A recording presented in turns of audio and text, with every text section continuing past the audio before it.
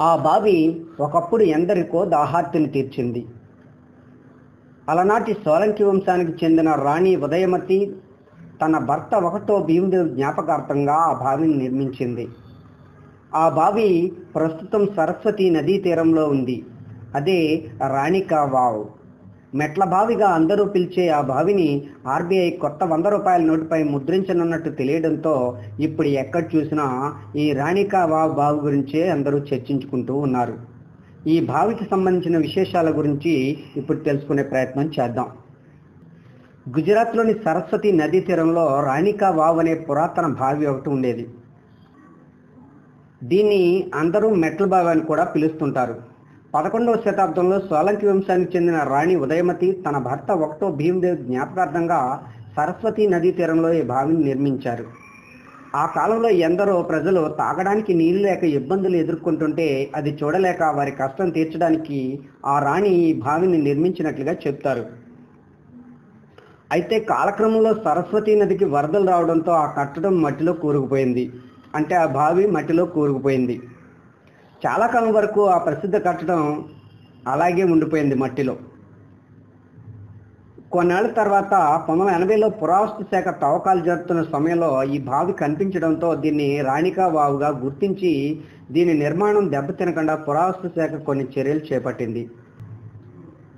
ఈ కట్టడంలో నాటి శిల్పకళ సౌందర్యం అత్యద్భుతంగా ఉండటంతో అది పర్యాటకులను అమితంగా ఆకట్టుకుంటుంది.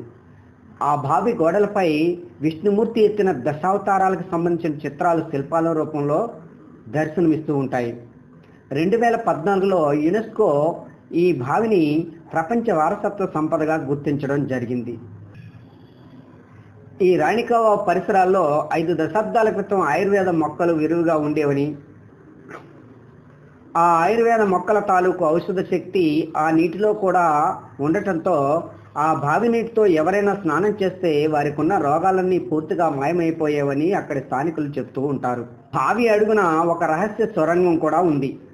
అది ప్రస్తుతం మట్టితో కూరుకుపోయి ఉందని పురావస్తు శాఖ అధికారులు చెప్తున్నారు ఈ బావి నీటితో కప్పుకుపోయినా దానిలో మాత్రం ఇప్పటికీ నీళ్ళు ఉన్నట్టుగా వారు చెప్తున్నారు ప్రముఖ పర్యాటక ప్రాంతంగా గుర్తింపు పొందిన ఈ రాణికా కట్టడాన్ని ఆర్బీఐ కొత్త వంద రూపాయల నోటుపై ముద్రించనుండటంతో ఆ ప్రాంతాన్ని సందర్శించాలనే ఆసక్తి అందరిలోనూ పెరుగుతోంది.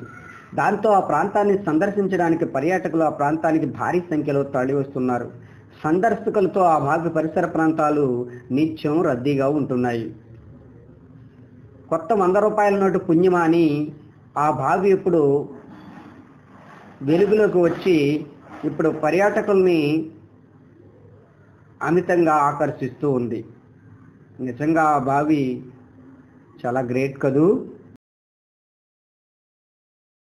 ఈ వీడియో కనుక మీకు నచ్చినట్టయితే లైక్ చేయండి షేర్ చేయండి. మరిన్ని వీడియోస్ కోసం మా ఛానల్ని సబ్స్క్రైబ్ చేసుకోండి.